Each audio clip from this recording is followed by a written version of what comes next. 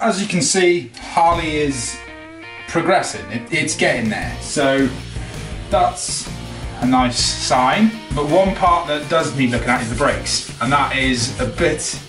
It's a bit of an awkward one really because the front end is off a YZF 450. Basically means that we we don't have to, but it would make sense to use YZF 450 uh, master cylinder and caliper. And then on the rear, I wanted to upgrade the rear caliper again because the original Harley caliper is a single pot, so it's one piston pushing pushing brake pads basically, and the brake pads are literally this big. That's all we're talking about. They're not very big at all. And I use the back brake a lot. I always have. It's you know one of the ways I ride. So that's just it wasn't kind of going to really cut it really. I've been I'm in an RN looking at different options, speaking to people that know significantly more about motorbikes than me. I think we've come up with a plan. Front end, use the YZF 450.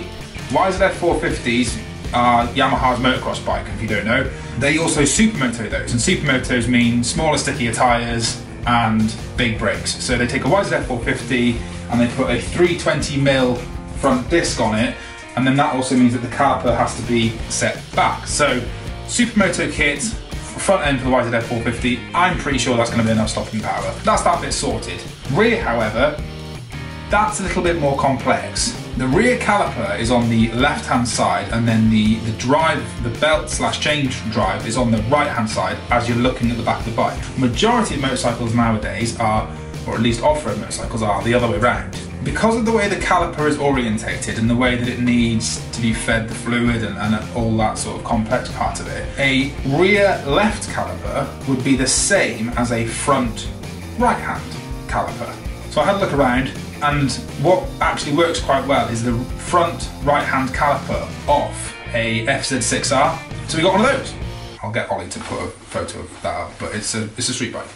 Um, so I finally got the brake setup I think is going to work. I've got the second-hand caliper, I've got the second-hand master cylinder, and that's purely off eBay, scouring eBay. So I've got them now, and I want to strip them down a little bit, have a look at what we've got hold of, yeah, and get them a good of operating quality as possible. This is the master cylinder, front master cylinder. It is off an older model. It's it's a little bit, you know, worn out. It's not sort of immaculate. That's just a bit sort of pitted and almost like paint's flaking off so I'll give that a clean. There's a couple of marks, stone chips, wears and tears but the seals are good, the action is good so I'm, I'm happy with that. I think that'll work really nice. Rear master cylinder sticking with the original Harley one so that's, that's fine that was really clean and tidy. This is the front uh, caliper. This is off a motocross bike and it sits in that orientation on the bike. The bottom is where you're getting all the stone chips and everything and horrible, so as you can probably imagine the bottom is a little bit worse for wear. A Scotch-Brite pad and a bit of elbow grease will make a massive difference to this. Rear caliper again, this is immaculate. This is, you know, it's off a road bike. It doesn't get hammered the same as an off-road bike. This is going to require some fabrication work. So this will be given to Dan yet again. He gets all my fun projects and tells whatever I broke he fixes. So this can be his problem. So I'll just hand it to that and go, Daniel, that is a you problem, no longer a me problem. Make that work, please. We'll strip them all down, well, relatively, strip it down, have a look, that's the plan.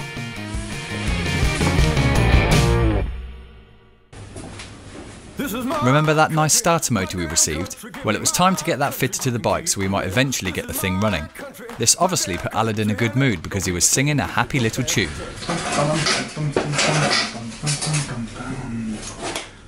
What do you want? The starter motor actually sits in there, so it will come through there, cog will engage on that, and then hopefully the bike will fire. So it's just simply two bolts and a gasket, and that's it. And that is the new starter motor. As you can see, it looks okay at a quick glance. It's already flaking off the paint because they just sprayed straight over that rubber. Um, you can see the spray there, but you know, it's new. It's a lot better than the, well, I think it's new. New, newly refurbished, or new to me at least.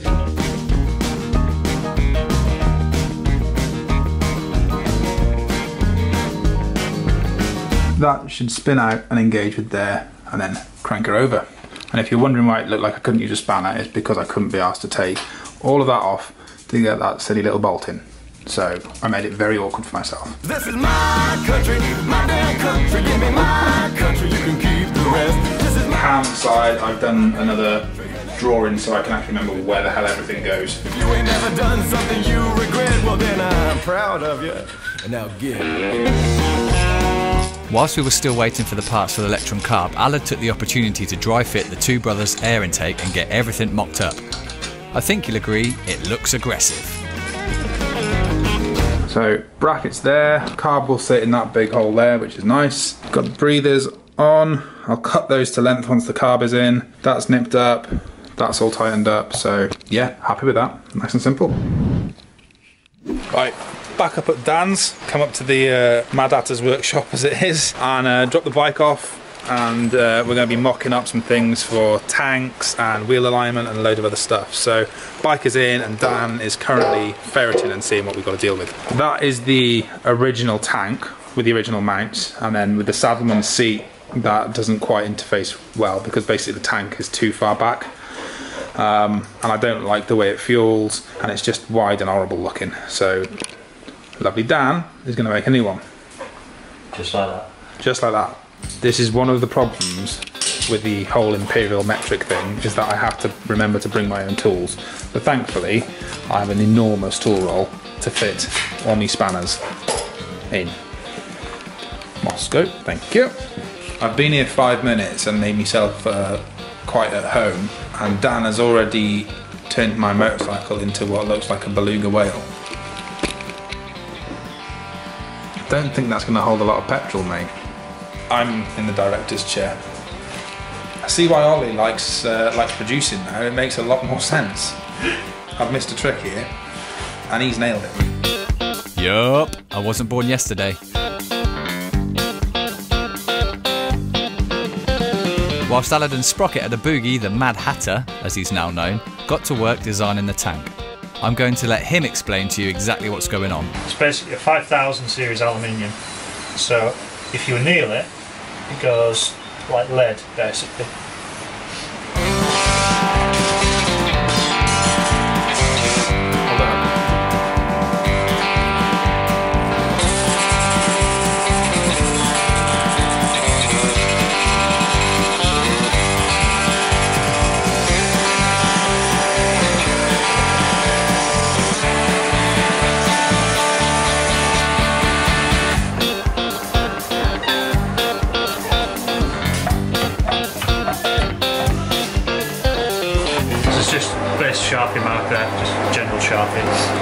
Temperature of the alley is the temperature that the ink and everything flashes off the alley.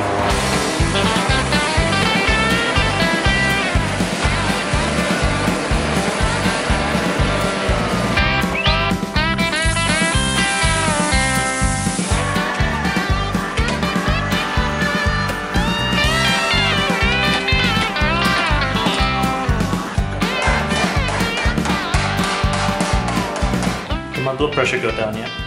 You tell me, mate. Looks good to me. Get in there, get.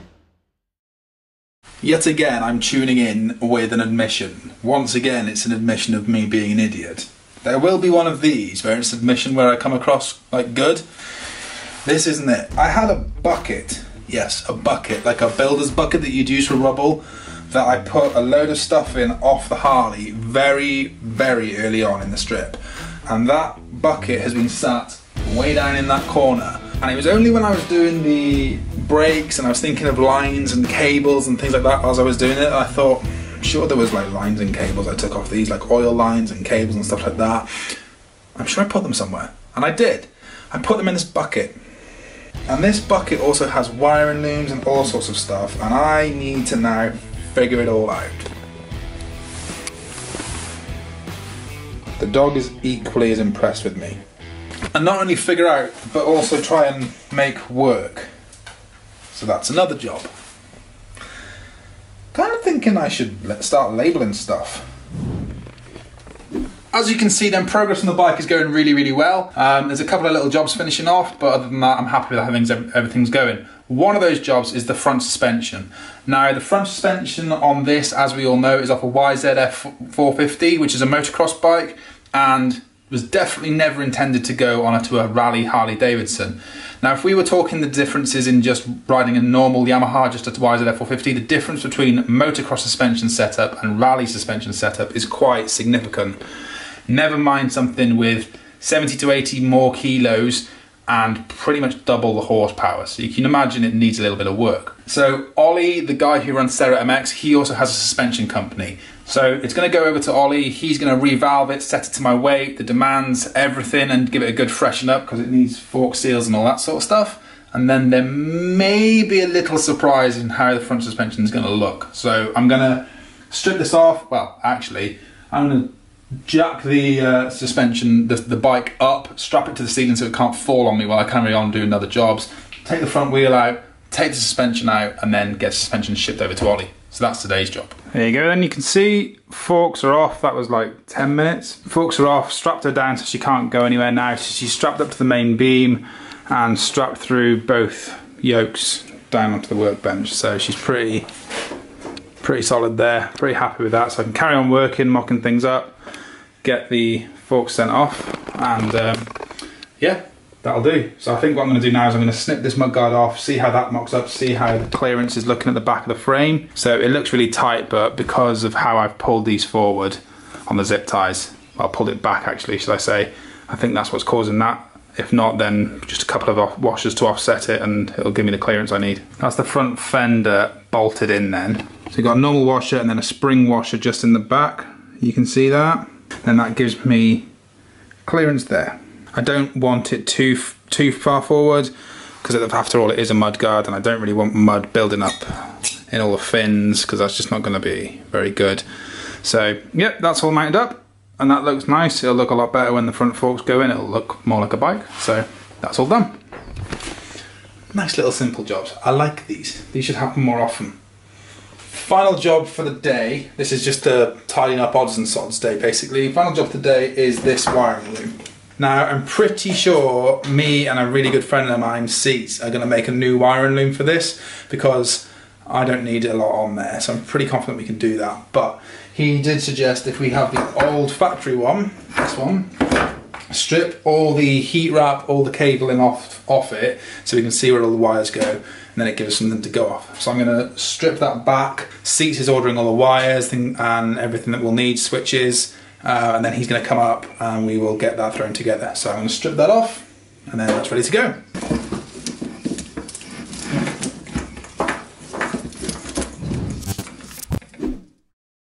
Right, Seats is going to launch a rugby ball at me. Seats has, I'm so nervous. Seats hasn't seen the bike yet. So I think it's only right that um, I get his reaction on camera. Do you think? Yeah. So I'm going to film him doing that.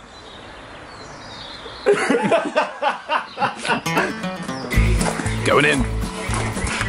Oh, I left seats for all of 15 minutes. 15 minutes. 15 minutes. I left seats for 15 minutes, and this is what he comes and does. He tidies up. So this is the old loom, original loom? Yeah, the original loom, yeah. So just trying to figure out which bits were used for what. What is... Huh? What's... Let's just sort that out. And, oh God! Um, it's still there. yes, much better. So anyway, yeah, this is the. Uh... and, and, you can and you can you can keep the duck. Oh, thank you. you were saying? Uh, yeah, original loom. It was a mess. So just tried to tidy it up to see exactly what bits were where. A couple of little bits that were confusing us. Wasn't sure what this was. That's the. Uh, you mean that enormous grey This box? enormous grey box that says Harley Davidson patent pending. Yeah, that's the turn signal cancel module or relay or something. So we don't need to worry about any of that. Ignition. Don't need to worry about that. Starter relay. Starter relay.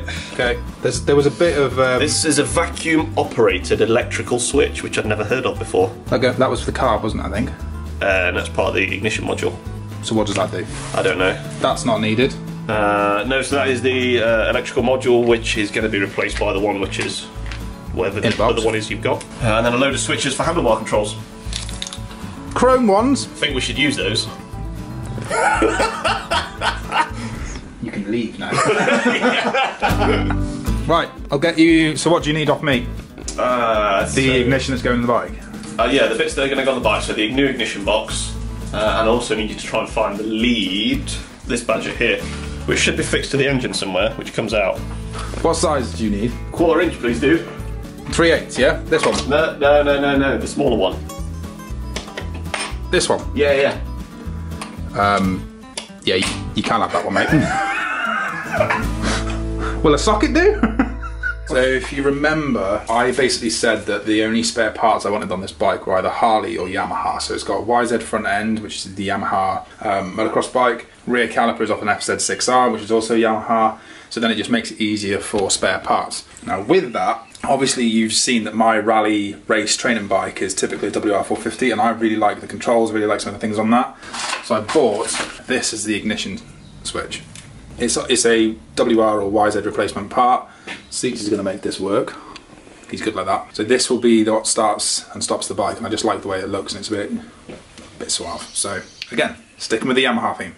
Okay, well, that's, for a start, that looks more like one of these ones here. So, uh, no, maybe it is. Uh, no, maybe it is that one. Yeah, it is that one, isn't it? It's only got two pins. Yes. So this is the Dynatek ignition that came with the Hammer Performance kit. So I rang these guys up because I knew nothing. These are the instructions which actually basically say everything what they tell you when you call them up. It really helps if you read these. And then this sits there. Inside. Yeah, inside. Likes to be inside. You're going to get lots of these weird little comments in the back of videos. Ollie fucking hates it when I do shit like that. Because it totally screws up his filming.